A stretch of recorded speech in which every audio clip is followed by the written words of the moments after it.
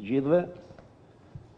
I nderuar zoti kryetar i bashkisë, nderuar pjesëmarrës, mbrojtja dhe garantimi i drejtave të miturve është një ndër prioritetet kyçe të punës së Ministrisë së Drejtësisë. Qëllimi i sistemit të drejtësisë është rehabilitimi në fakt dhe jo gjykimi i fëmijëve. Fëmijët nuk kanë nevojë për ndëshkim, por për ndihmë.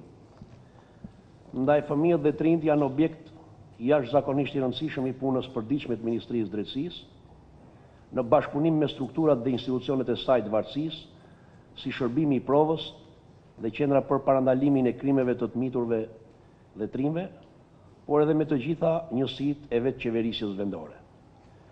Nëpërmjet këtij bashkëpunimi komplementar, ne do të arrijmë drejt realizimit të plotë të drejtësisë restauruese dhe drejt ndihmës që të gjithë fëmijët, viktimë apo në konflikt me ligjin meritojnë.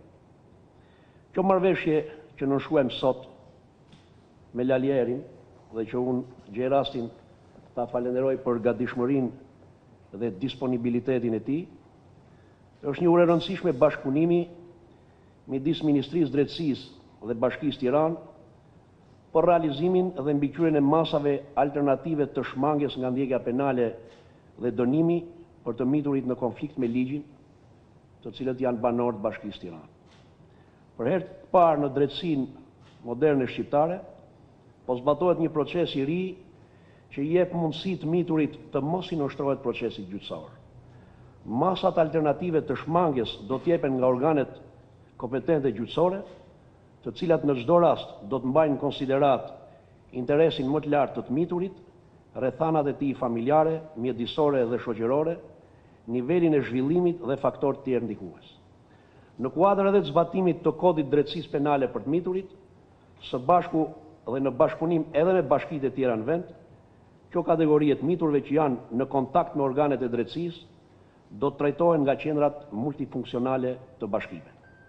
Një risi kjo për herë të parë, ku të miturit në kontakt me organet e drejtësisë do të trajtohen jashtë institucioneve të mbyllura, jashtë atyre burgjeve të cilat në shumicën e rasteve, pamvarsisht përpjekjeve tona për të përmirësuar kushtet dhe për të përmirësuar trajtimin e tyre, nuk arrijnë dot të rehabilitojnë dhe të ofrojnë një drejtësi miqësore për këtë kategori fëmijësh.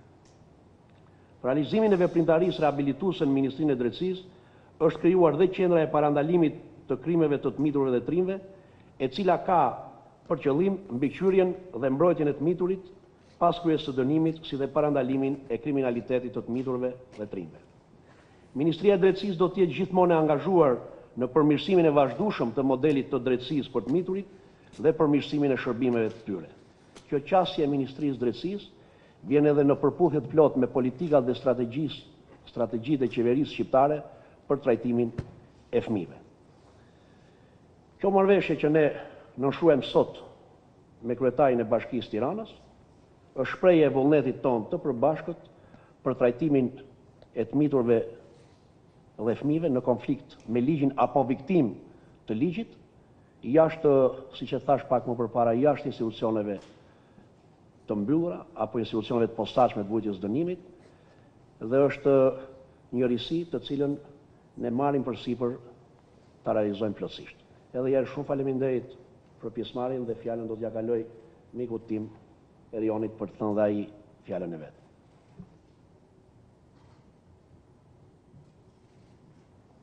Mirëmëngjes të gjithëve, zoti ministër, i dashur Ulsi, shumë faleminderit për për këtë iniciativë edhe besoj që teksa Tirana është kryeqyteti europian i rinisë, nuk mund të jetë kryeqyteti europian i rinisë vetëm për të rinjtë që merren me art, me kulturë, me opera, me balet, me këngë, me valle, nëse nuk adreson të gjithë spektrin e ça është një i ri ose një i mitur sot, përfshi dhe të rinjtë ose të miturit që janë në një konflikt me me ligjin. Ndryshe do ishte vetëm një aktivitet elitar, për më të mirët, për ata me dhjeta që sigurisht duam t'i promovojmë, por do ishte e pamjaftueshme nëse në këtë kuadër ne nuk shfrytëzojmë çdo mundësi për të adresuar të gjithë problematikat rinore dhe jo vetëm ta kthejmë në një provim, në një promovim të atyre që tashmë janë të suksesshëm dhe tashmë i kanë pasur mundësitë në jetë për të ecur përpara. Për arsye nga më të ndryshmet, secilit prej nesh i rrëshket këmba në një moment të jetës, e sidomos për Fëmijë që vijnë nga situata të vështira, fëmijë që vijnë nga situata të gjendjes në në rrugë ose të familjeve me urdhër mbrojtje ose të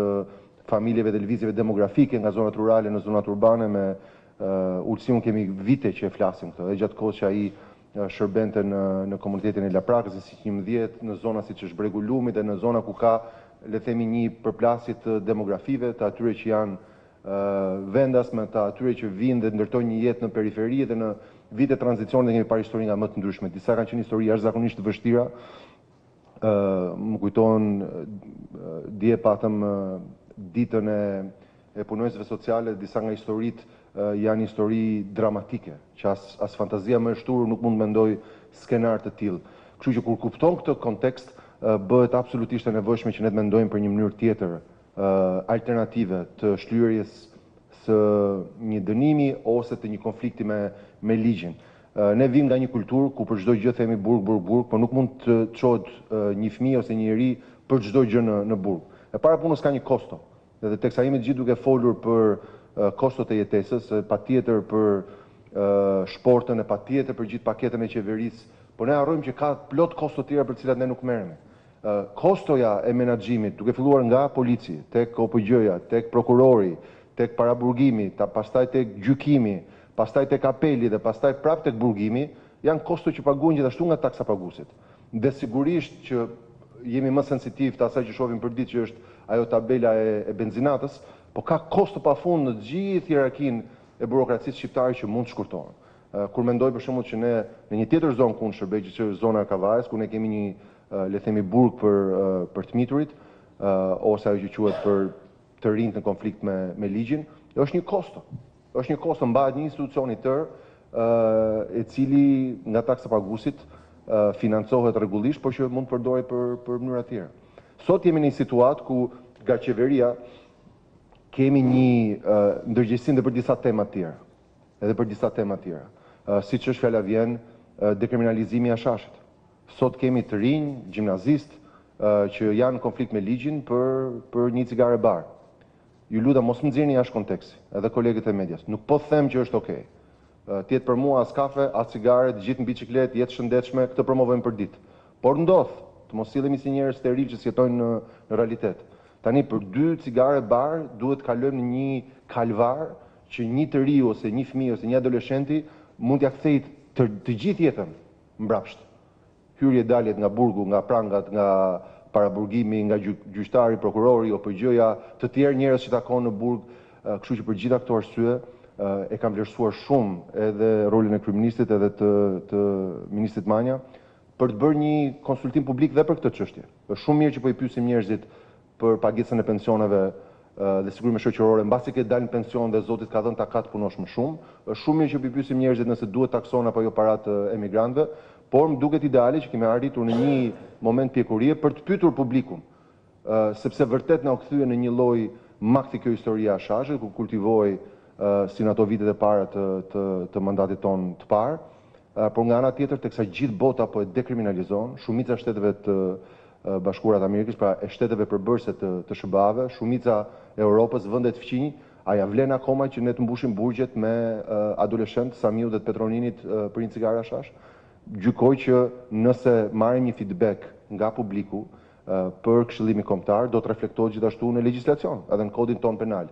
Edhe le të mendojmë pra edhe për këto kosto. Mendojmë vetëm për benzinën, që është patjetër një kosto e rëndësishme, por ka plot kosto të tjera që ne mund t'i shkurtojmë. Dhe për sa kohë që një qendër sociale është tashmë e hapur, është funksionale, ne ju keni parë qendrën sociale në Kombinat që ofron një skemë të madhe shërbimesh nga mencat për të moshuarit e për ata që janë të vetmuar, tek kurset e logopedisë për fëmijët e spektrit autik apo me sindroma të tjera që kanë nevojë për një mbështetje, apo tek kurse për zanate të grave që ja kanë urdhër mbrojtje, duan të marrin një zanat, qoftë edhe dalin nga shtëpia të jenë me shoqe të tjera, kështu që për sa kohë që qendrat sociale tashmë janë të financuara, janë njëzet e katër orë të hapura, merremi me çdo tematikë duke filluar nga ata që janë në situatë rruge deri tek lypësit apo shumë problematika të tjera që shumë vende më moderne se sa edhe më të pasura se sa Shqipëria i kanë evidente përditë nëpër rrugë dhe në trotuare, ndërkohë që në në Tiranën tonë pavarësisht vështirësive janë gjithsesi shumë të kufizuara rastet e problematikave të të tilla. Kështu që për sa kohë që taksapaguesi paguan një herë bashkinë për të ofruar këto shërbime në diapazonin e këtyre shërbimeve Fare mirë mund të mund të përfshihen, siç do të bëjmë me këtë projekt pilot sot, edhe të rinjtë që janë në konflikt me ligjin, për të pasur një mënyrë alternative të shërbimit, ku një psikolog ose një mentor mund të transformojë jetën për mirë, ndërkohë që një gardian burgu nuk e di a i ka aftësitë, përveçse hyrje, dalje, ajrosje edhe vaktet, të jetë një psikolog dhe të jetë një vlla ose një motër e madhe për të rehabilituar një fëmijë ose një të ri në në konflikt me me ligjin. Kështu që sot ne fillojmë këtë projekt pilot në Tiranë dhe do doja që ne të ngrejmë stekën sot bashkë me ministrin për gjashtëdhjetë bashkitë e tjera. Ë sepse edhe nga edhe nga ky aspekt nuk duam që çdo gjë të bëhet vetëm në në Tiranë. Kemi sot bashki që janë jashtëzakonisht shëmbullore në shumë prej shërbimeve që që ofrojnë edhe po kapin gjithashtu ritmin e çështjeve sociale. Unë e kuptoj që çështjet sociale ndonjëherë janë të fundit që lihen, sepse konsiderohet, le të themi, periferia e shoqërisë që duhet të trajtohet nga bashkia dhe nga nga institucionet e tjera, por në kohët ku po jetojmë, në kohët kur po jetojmë, po bëhen jashtëzakonisht të, të rëndësishme. Unë e them ndonjëherë shpesh me humor, me Ulsin e kam folë disa herë, mbaj mend vitin tonë të parë, Kishte thatësirë, nuk ra shi për për muaj të tërë. E të gjithë më thoshin kryetar mos e vrit mendjen se njëqind një herë në njëqind vjet ndodh kjo thatësirë. Pastaj mbaj mbaj mend vitin e dytë në bashki, shoh disa nga gazetarët që kanë qenë pa flokë të bardha në atë kohë dhe vinte Lana deri ke Siri Kodra. Nuk pushonte shiu, jo vetëm që s'ishte bërë investimi, po dhe realisht ra shumë shi. E thoshin prapë një herë në njëqind vjet na ndodh një hata e tillë dhe përmbytur gjithë nga Bregu i Lumit deri tek Selvia. Vitin e tretë e mbani mend, zjarre kudo, digju Petrela, digju Mulleti, digju Priska, digju Dajti, digju Qesaraka, Kashari, Ndroqi, dukej sikur jetonim në një mikrovalë, në një furrë ku vetëm po digjej gjithandej, s'kishte mjaftueshëm helikopterë dhe dhe zjarrfikëse. Prapë thanë një herë në njëqind vjet ndodhin zjarre të tilla, kryetar ti mos e vrit mendjen se jemi do ta kalojmë dhe këtë. Pastaj ra borë në Tiranë, nuk e di a ju kujtohet. Edhe të gjithë më thoshin, ha mor kryetar, ku i ke borëpastrueset? Ç'borëpastruese, s'kishte rënë që në tetëdhjetë e pesën borë. E prapë e kaluam dhe atë dhe atë sfidë, po gjithë thoshin që një herë në njëqind vjet ndodh kjo. Pastaj tërmeti, që nga tërmeti i madh i Shkodrës një mijë e nëntëqind e pesën, tërmeti i dy mijë e nëntëmbëdhjetës, prapë një herë në njëqind vjet, kështu që thanë kryetar do ta kalojmë dhe këtë. Pastaj pandemia, që realisht një herë në njëqind vjet, se ishte nga dy mijë e nga një mijë e nëntëqind e tetëmbëdhjeta, fundi i Luftës së Parë Botërore, gripi spanjoll, edhe realisht njëqind vjet. Tani filloi lufta, Ishalla dhe nuk shpërthen ndonjë vullkan në Dajt edhe të kompletohet gjithë CV-ja e gjithë krizave të njëqind viteve në pak në pak mandate. Por përtej humorit, të gjitha këto situata prodhojnë kosto sociale. Dje po flisja me kolegen tonë Matildën që gocat tona të shërbimeve sociale që ja dhamë hua stafin tonë kolegëve amerikanë për afganët.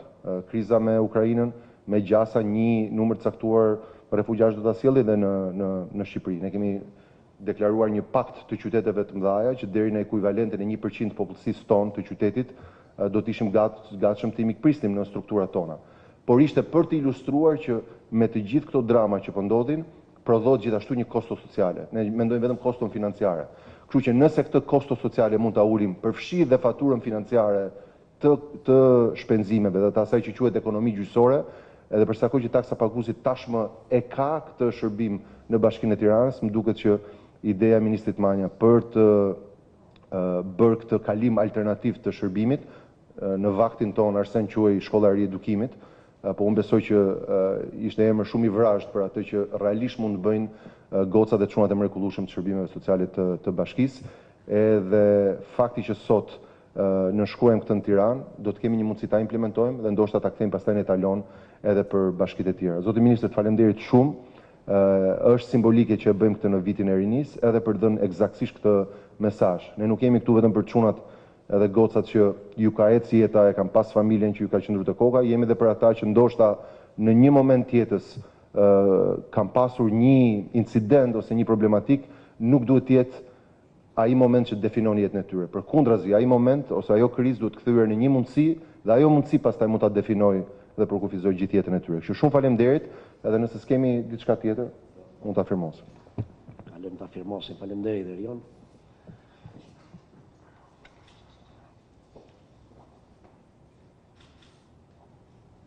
Thotë stafi im e dini që unë thashë unë nuk firmos kurrë marrëveshje mes institucioneve, se institucionet thjesht duhet të bëjnë punën.